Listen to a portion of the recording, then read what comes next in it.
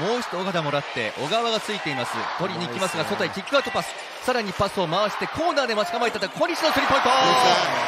幸先よく締めてきました、ね、をかわしてパス。外へパス。外へ展開した。今度は通面ゲームを使ってのマチューライトゴールスターレアップ。上手ですよね。ああやってこう。荒をスイッチして小西に対してのディフェンスになっていますが今度はあ小西が今度は荒尾に対してディフェンスを突かれながら決めていきます荒尾がついて198センチ。しかし岡田それでも打つ。あ飛ばし割りです。やってきましたね。これも早くも6つ目今日はもうキレキレですね。昨日は2つに終わりました。そしてジョーンズゴールサイズ走り込んでたこちらはオールラウンダーのジョーンズ。です岡田です。岡田起点から始まるピックアンドロール。ナイスパス。アリュープナイスパスです。これですよね出ました。オフェンスリバウンドを取った千葉。走ってますよ。ターンオーバーになった。もうディアロゴール下です。あここはスリーポイント。岡田が打ってきた。こちらは25歳の岡田優斗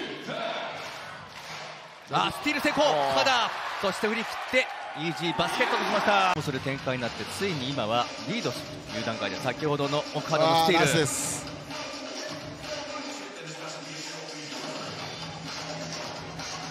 アウトナンバーの状態ですが早めにボールを入れたアイラ・ブラウン、最後はあ振り返した。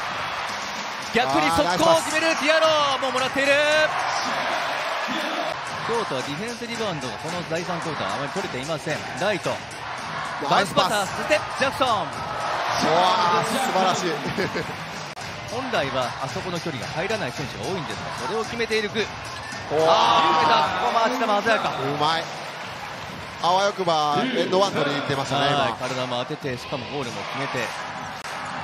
ピックアンドロール。ムーにもらってペイント内ですが弾いてしまってターンオーバーになった岡田が持っています。ハリウッドラタあーケビン・ジョーンズ。ムーにもらってペイント内ですが弾いてしまってターンオーバーになった岡田が持っています。ハリウッドラタあーケビン・ジョーンズその前のジャクソンも見事。